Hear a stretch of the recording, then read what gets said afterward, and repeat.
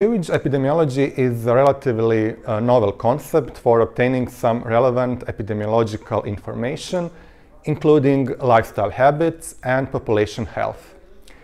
Uh, nowadays, it is a well-established approach uh, to assess uh, uh, the consummation, consum consummation of illicit drugs in the communities.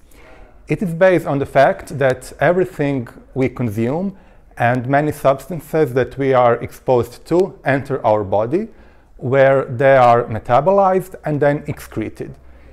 Therefore, urban wastewater can be considered as a very diluted urine sample of the entire community which is connected to a certain sewer network.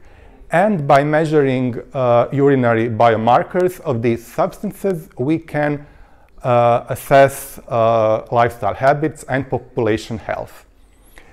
Uh, so nowadays it is a well-established approach for the assessment of illicit drugs consumption and more recently it has been also applied to uh, study consumption of some illicit drugs such as alcohol, uh, tobacco, caffeine and pharmaceuticals.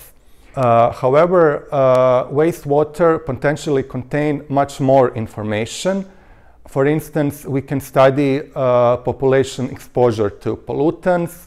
We can measure uh, some biomarkers of health, for instance, biomarkers which are um, uh, associated with oxidative stress and potentially we can either, even measure some biomarkers related to some uh, diseases. Uh, I'm involved in a European project called the SCHEME, which is devoted to uh, the development of the methodology uh, for determination uh, of uh, biomarkers of exposure to some chemical pollutants from personal care products and household chemicals.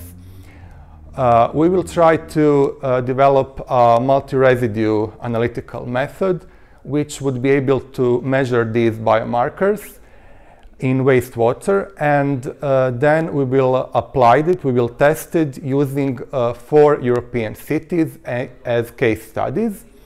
And uh, one of the, uh, some of the advantages of uh, this approach is that we can obtain uh, objective data in almost real time with lower costs usually with no uh, ethics issues and uh, uh, it can be used as an early warning system so we can uh, relatively easily identify population which might be more affected by chemical pollutants.